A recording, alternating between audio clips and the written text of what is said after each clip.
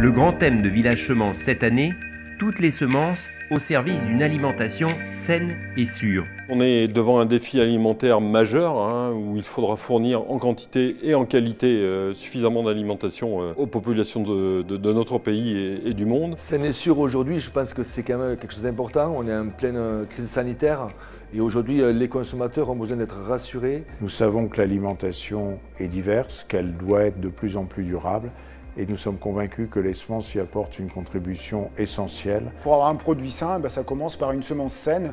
Et ça, faut vraiment que tout le monde euh, communique là-dessus, tout le monde le sache et surtout le grand public. Donc c'est aussi une façon de faire le lien entre nos métiers et les consommateurs et citoyens puisqu'ils mangent trois fois par jour.